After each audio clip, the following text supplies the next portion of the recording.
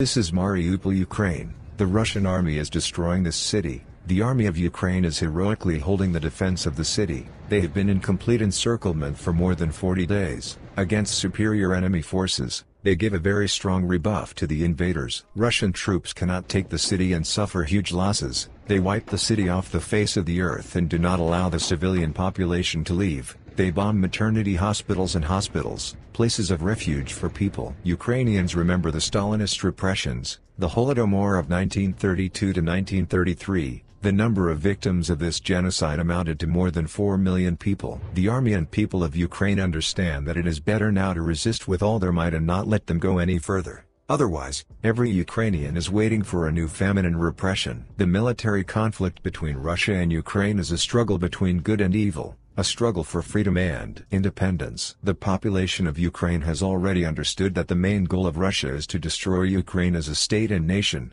its culture and history. Next they impose their values, force them to be a submissive slave, forcibly mobilize the male population for new warriors in other European countries, so lawlessness, poverty and devastation. We call on everyone to support Ukraine as much as possible. Each of you who watches this video should understand that after Ukraine there will be other countries with a similar fate, Poland, Latvia, Lithuania, Estonia, Finland and other countries that Russia can reach. The Ukrainian people are very grateful for the support that the whole world is giving them now.